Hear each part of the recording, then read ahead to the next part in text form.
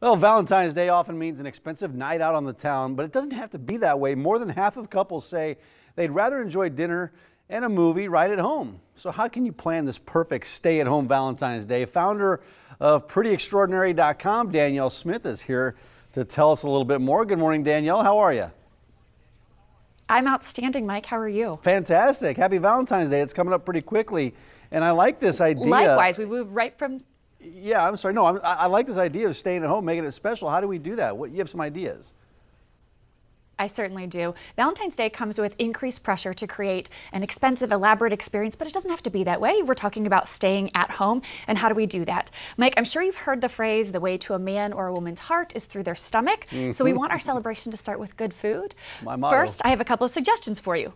yes, that's your motto, right? so we're going to start by making Valentine's Day twice as nice by combining two of Bertolli's classic sauces to create a creamy pink sauce that you can use in a couple of recipes. My suggestion, combine the Alfredo with aged Parmesan cheese, which comes with real fresh cream and Italian cheeses, and their traditional marinara with Italian herbs and fresh garlic. You combine those two and you get this beautiful creamy rosa sauce that you can use either here on the caprese gnocchi with blistered tomatoes, or on spaghetti carbonara with creamy rosa sauce. Now, both of those you can find on Bertolli's website, bertolli.com slash recipes, or you can head to their Facebook page and you can find the recipe links right there. I have a second food suggestion. Okay, love it. I know you're jealous because I have all this food in front of me and your mouth has to be watering. But when you're considering snuggling up with your someone special, how about spoiling them with a bowl of delicious warm soup?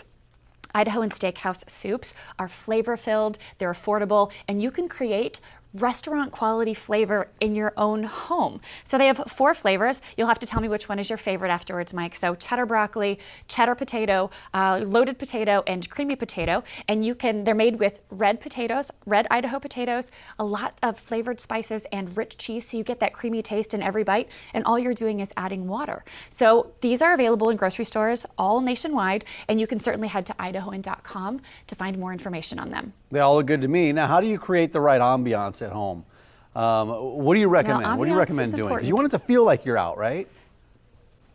Right, you do want it to feel like you're out, but you also want to kind of keep it simple because that's part of not having that elaborate, expensive experience. So pulling out all of your red dishes or pink dishes and decorating with those, candles for ambiance, and then this is one of my favorites, putting flowers in ice cubes so that you can either spice up a cocktail or just your water if that's what you're choosing for the evening. And my final suggestion has to do with the messaging. You know, there are so many cards out there, but what about the idea of rather than a prepackaged message, finding a card that's blank blank, writing your own message, or crafting an old-fashioned love letter. You mean be creative? That's a lot of work there. Yes. I have high expectations for you, Mike. I know, but it, it is more meaningful. It, what do you recommend though when you have kids? It used to be easier when I lived at home and I was single and I had a date, and but now we got kids and it's a lot more complicated now, Danielle. What about including them in the process? Yes. How special would it be to have your son or daughter help you to create that meal, like if you're making it for your loved one, and have them help with the decorations? Maybe they can cut out paper hearts or find a way to decorate your table. I love it. Danielle, where can we go for more information?